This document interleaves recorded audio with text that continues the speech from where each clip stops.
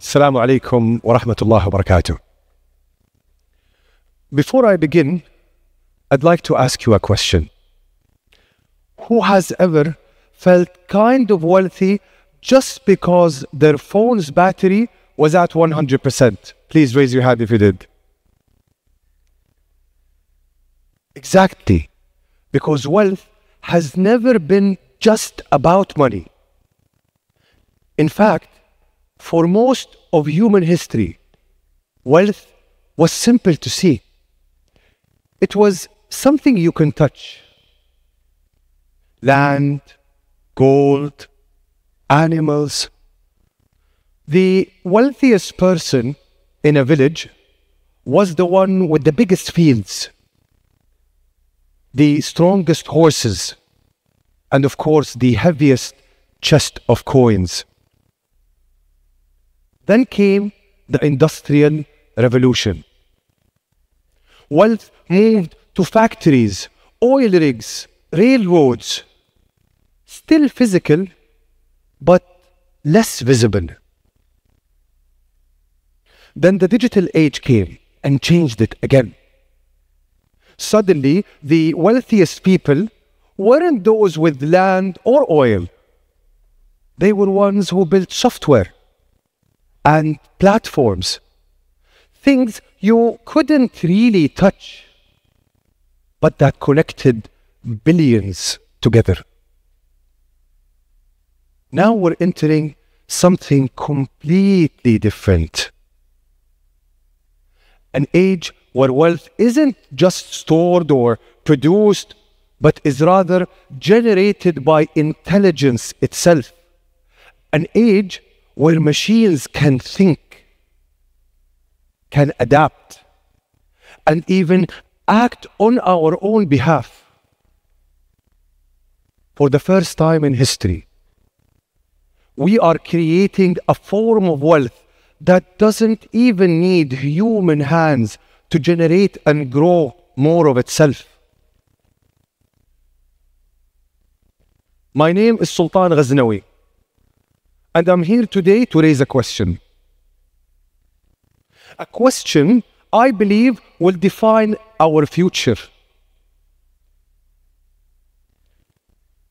In an age of artificial intelligence, what will wealth even mean?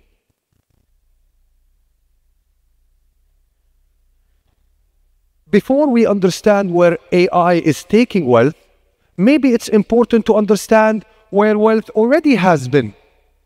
Because wealth has never stood still, it keeps reinventing itself. And if you zoom out, wealth has gone through three big eras tangible, land, gold, mechanical, factories, oil rigs, and digital, networks, algorithms. Now we enter a new era. We enter the intelligence era, where wealth isn't really just about what you own today, but it's more about what your systems can act in your absence. Because AI changes wealth from something static, locked in a vault or in a bank somewhere, into something dynamic, constantly adjusting itself. Take this example. An investor might take a decision to rebalance their stock portfolio once every quarter in the past. Today, today an AI model can rebalance that same portfolio thousands of times a day, making thousands of decisions, reacting to news, every single piece of news, instantly, faster than any human ever could. So wealth becomes less about the size of your portfolio and more about the quality of your decision engine. Because the higher the quality of your decision engine, the better trades it can, it can do in your absence. The faster those trades, the better data your decision engine has, the wealthier it will make you in a shorter period of time. What does this mean? It means that the balance of power is about to flip in the world.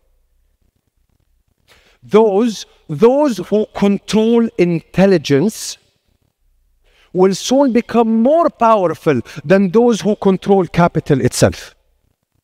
Think about that.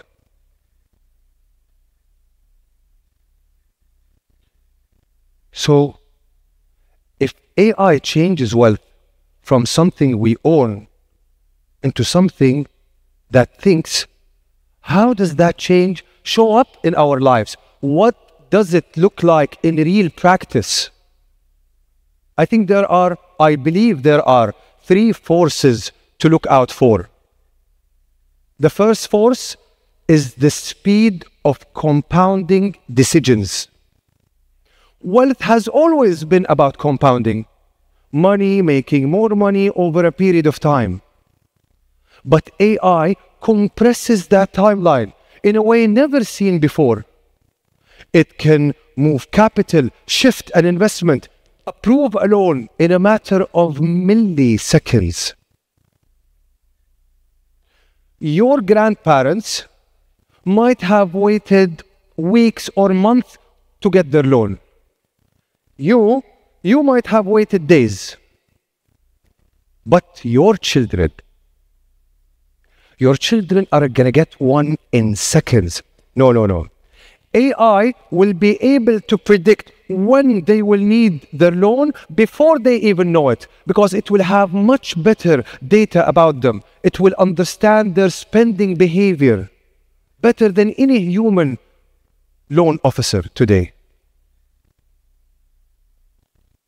The second force is the democratization of sophistication. For decades, even for centuries, financial expertise and investment advisors were locked in private banks for the elite only. Today, now, AI puts that power in your pockets. A student in Riyadh has more financial forecasting power on their smartphone than a Wall Street banker had 10 to 15 years ago.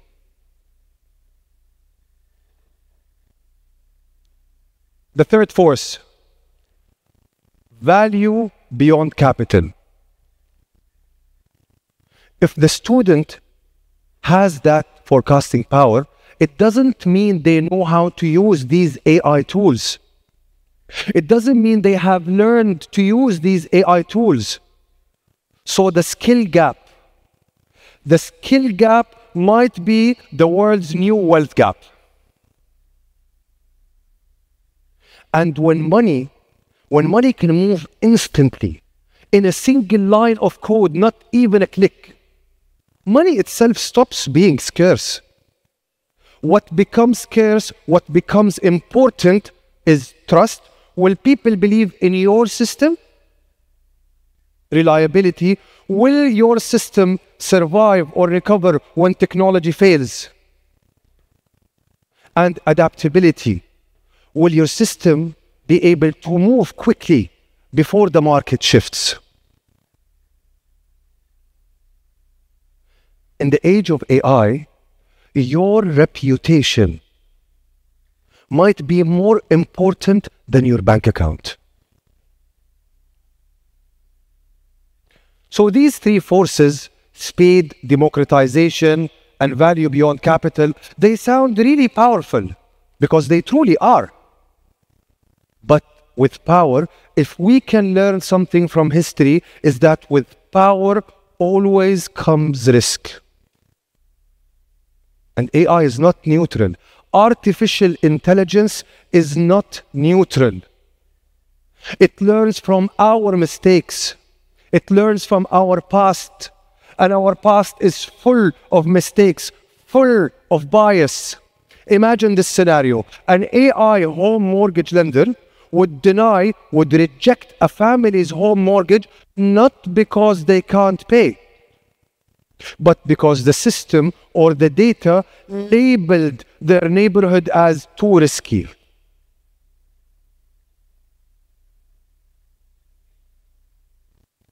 if left unchecked, if left unchecked, AI could create a future where the winners are not just predicted. The winners could be pre-selected. And the gap between the AI enabled and the AI excluded could grow faster than any wealth gap in history. So here we are. AI could make wealth smarter, faster, more widely available, but it can also lock in inequality and bias. So the, technology, the challenge is not in technology only, it's also in us. How do we define wealth in this age? What principles do we want to put in place to guide and rule this AI? I believe there are three principles that matters the most. Three A's, access, agency, and alignment. Access not just to the money, access to the tools, the algorithms, the data that actually creates opportunity. Without access, none of us is even in the game.